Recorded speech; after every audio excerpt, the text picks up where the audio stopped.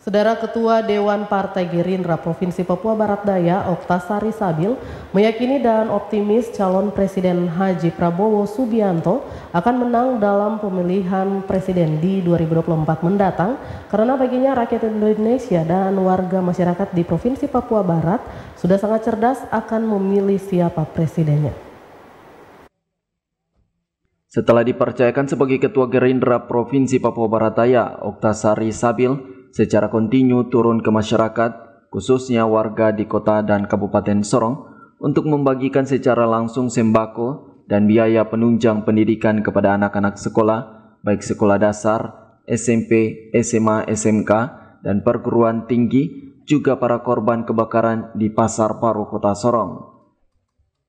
Di sela-sela pemberian bantuan, Oktasari Sabil sekaligus memperkenalkan calon Presiden RI Haji Prabowo Subianto kepada masyarakat, baginya rakyat saat ini sudah cerdas untuk memilih pimpinannya sehingga ia meyakini dan sangat optimis Prabowo Subianto akan menang pada Pilpres 2024 mendatang.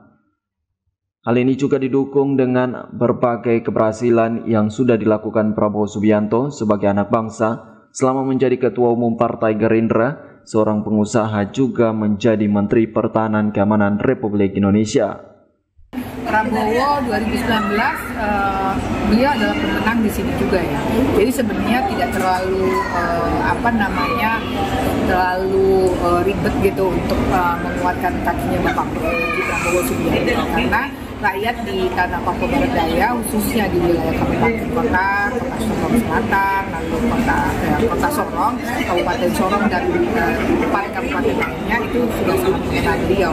Nah, hanya ini kita penguatan. Penguatan eh, kalau penguatan itu artinya sudah ada yang sudah ditanam tinggal kita menguatkan bagaimana ikatan emosional itu berjalan dan memiliki uh, kesadaran tanpa harus ada paksaan dan untuk memilih.